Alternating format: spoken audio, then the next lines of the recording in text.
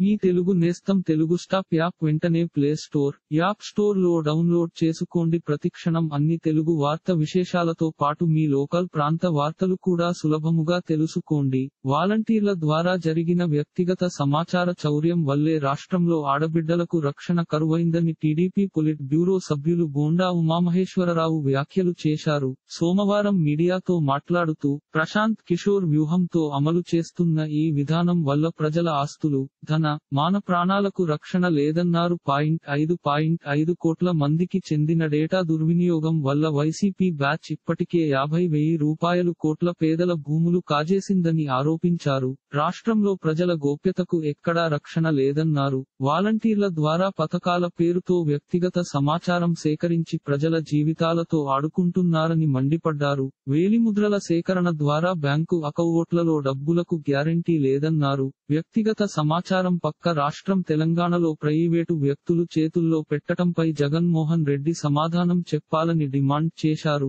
జగన్మోహన్ రెడ్డి అక్రమాలు ప్రశ్నిస్తే రాజకీయ కక్ష సాధింపు చర్యలకు పాల్పడుతున్నారని బోండా ఉమా మహేశ్వరరావు ఆగ్రహం వ్యక్తం చేశారు. ఇలాంటి మరిన్ని ఆంధ్రప్రదేశ్ వార్త విశేషాలు కోసం ఛానల్కి సబ్స్క్రైబ్ చేసి గంట నొక్కడం మర్చిపోకండి. ఈ వీడియోని తోటి మిత్రులకి షేర్ చేయండి. మీ అభిప్రాయాన్ని కామెంట్లో తెలపండి.